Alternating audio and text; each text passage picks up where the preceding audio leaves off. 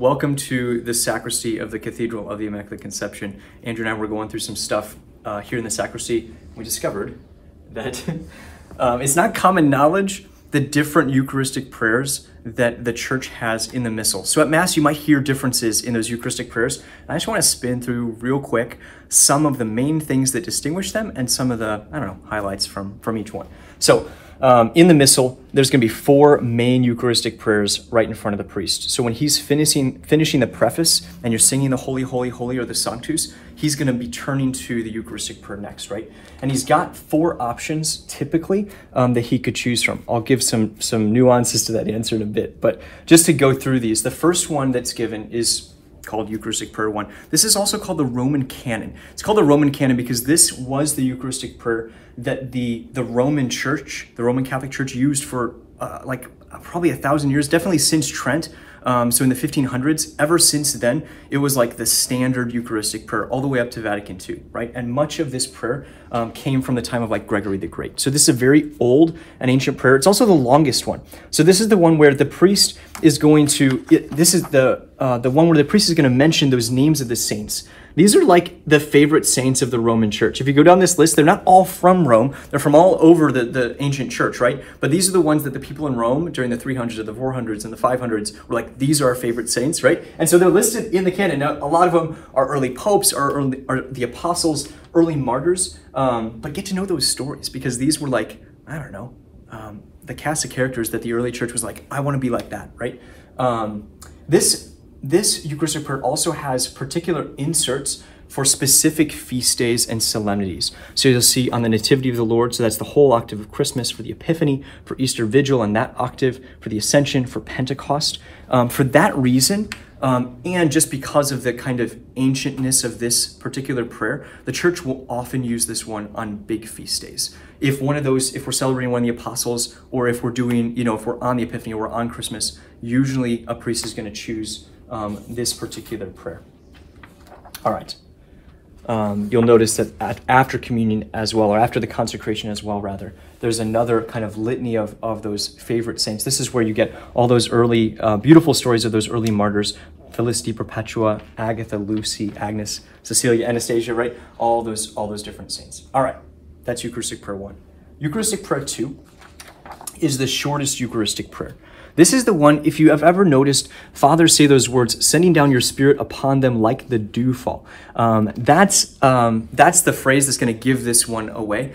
Just an interesting note about that. It's kind of an odd symbolism, right? But think about the dewfall. You don't, you never see the dew accumulate on the grass, right? But, but there's something almost I'll say almost magical or mystical about that, right? And in the same way, the priest, when he's doing the epiclesis, right, he's calling down the Holy Spirit. But this one references that as the dewfall in the sense of like um, just coming upon us in a way that we cannot uh, anticipate, expect, or uh, kind of even see, right? Um, and that's what the Holy Spirit is doing um, at the Mass uh, when God is, is through the priest consecrating the, the bread and the wine. Okay. As I said, that's the shortest one.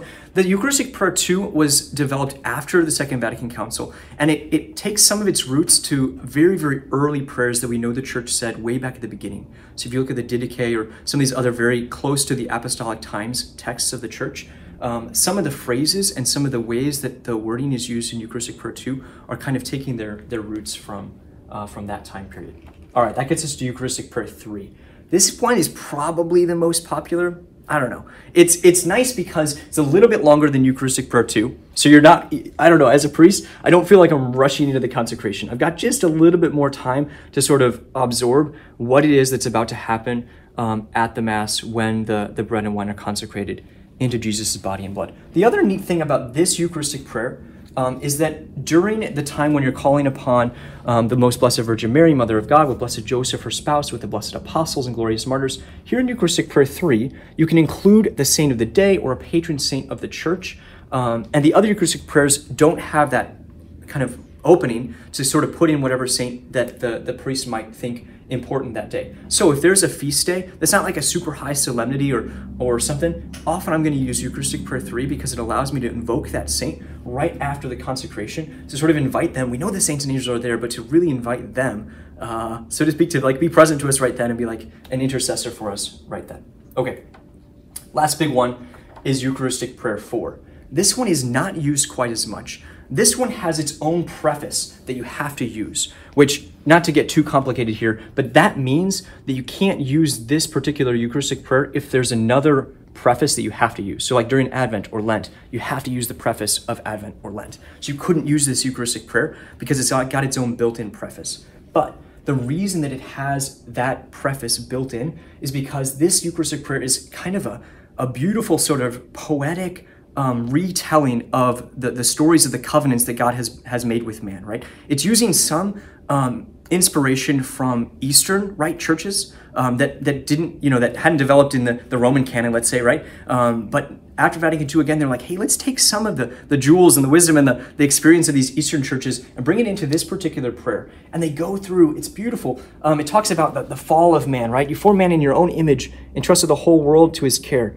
Um, but then through disobedience, we lost God's friendship, right? Um, we, we closed ourselves off. But then covenants and prophets and salvation is coming, right? It uses these beautiful lines from St. John's Gospel. To the poor, he proclaimed the good news of salvation, or uh, bringing to perfection his work in the world, he might sanctify creation to the full.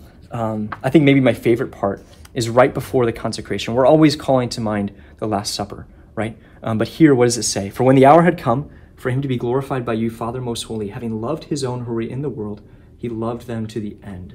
Um, and then it goes into the the retelling and the and the actual words, the institution of the the, the Eucharist. Um, but it's that beautiful line from St. John's Gospel, right? He loved them to the end, all the way through the Passion. Jesus is is pouring love out for us, right? And every time we come to these Eucharistic prayers, the same thing is happening, right? We step back into that upper room, right, with the apostles and with the saints and with all the, the martyrs and everybody else, um, and we join them um, as Jesus as Jesus gives us his body and blood.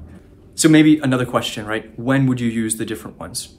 Just to sum it up, I think for Eucharistic prayer 1, you're going to usually use that on Sundays or other solemnities when, especially if you're hearkening to any of those saints that are mentioned in that Eucharistic prayer. Eucharistic prayer 2, the church kind of um, recommends that Eucharistic Prayer 2 would not be used on Sundays because it's so short, but maybe on other daily masses or weekday masses where you don't have a, a, particular feast to celebrate but want to kind of focus in on, on the consecration right away, right? Eucharistic Prayer 3, I guess it fits best, again, during those daily masses, could be used on a Sunday Mass, um, but if, in particular, if you want to invoke a, a special saint um, that day. And then Eucharistic Prayer 4 is is only going to be used during ordinary time, um, but could be used on Sundays or, or daily masses anytime we want to sort of go back to the Old Testament and remind ourselves of the way that, that God has been working all the way through. Um, you can see there's treasures in each one of these, right? So the priest sort of has to choose, uh, but whichever one he ends up using, right? There's, there's something beautiful, and uh, obviously the Lord is, is present um, in each one in, in, kind of different ways, right? With different focuses. Um, but the church gives us options so that we can come to know the mystery of the Eucharist even better.